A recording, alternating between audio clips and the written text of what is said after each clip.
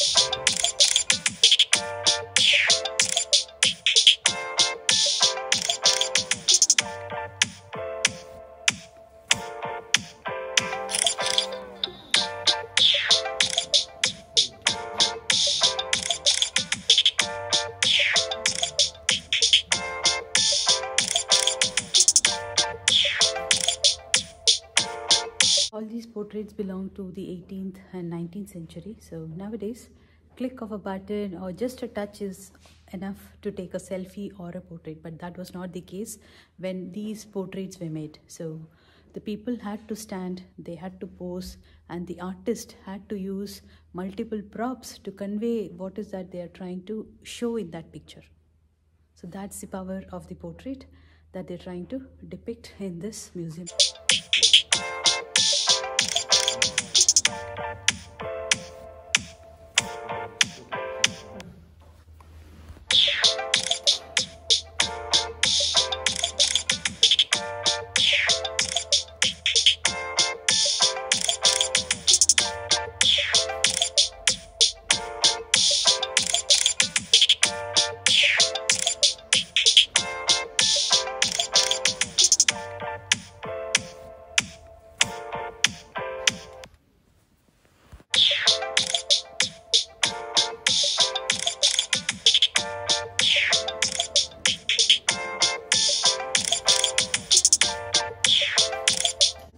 so here you can see it's power of symbols.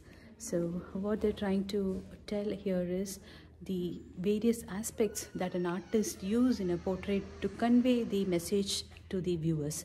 So they could use a lot of props and they could use a lot of symbols to convey the meaning of the portrait. So props such as rose which indicates love and if they are showing a lamp it means passage of time.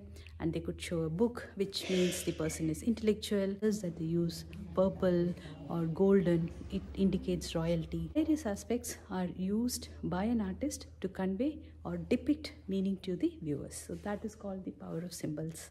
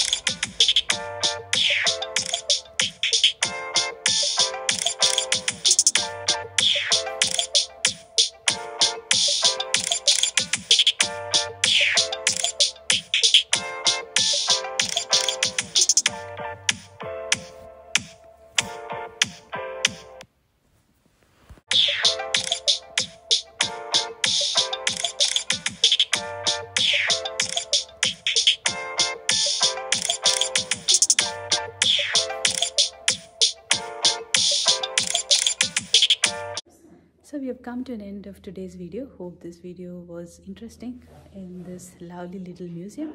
If you're watching my video for the first time and you have not subscribed, please go and subscribe. If you have any questions, any comments, any feedback, you can write it down in the comment section and I will get back to you as soon as possible. See you all again with another interesting video. Until then, you all take care. Bye bye.